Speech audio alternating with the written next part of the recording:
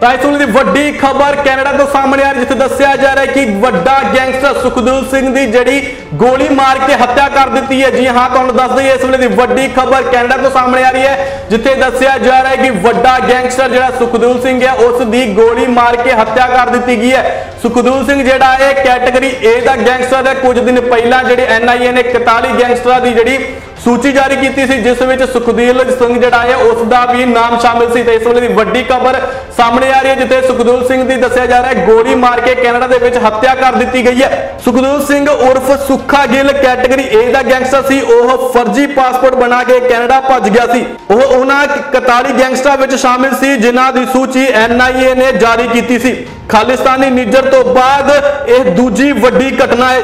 ਸੁੱਖਾ ਗਿੱਲ ਨੇ ਦੁਨੇਕੇ ਦੀ ਵਿ- ਅਹ ਵਿਨੀਪੈਗ ਵਿੱਚ ਗੋਲੀ ਮਾਰ ਕੇ ਹੱਤਿਆ ਕਰ ਦਿੱਤੀ ਗਈ ਹੈ। ਸੁੱਖਾ ਗਿੱਲ ਦੀ ਮੌਕੇ ਤੇ ਮੌਤ ਹੋ ਗਈ ਹੈ। ਸੁਖਦ ਸਿੰਘ ਗਿੱਲ ਉਰਫ ਸੁੱਖਾ ਗਿੱਲ ਪੁੱਤਰ ਗੁਰਨਾਇਬ ਸਿੰਘ ਵਾਸੀ ਮੋਗਾ ਜ਼ਿਲ੍ਹੇ ਦੇ ਪਿੰਡ ਦੁਨੇਕੇ ਦਾ ਰਹਿਣ ਵਾਲਾ ਹੈ। ਅਪਰਾਧ ਦੀ ਦੁਨੀਆ ਵਿੱਚ ਆਉਣ ਤੋਂ ਪਹਿਲਾਂ ਉਹ ਡੀਸੀ ਦਫ਼ਤਰ ਵਿੱਚ ਕੰਮ ਕਰਦਾ ਸੀ। ਇਸ ਸੰਬੰਧੀ ਕਰੀਬ 18 ਕੇਸ ਜਿਹੜੇ ਨੇ, ਦਰਜ ਨੇ।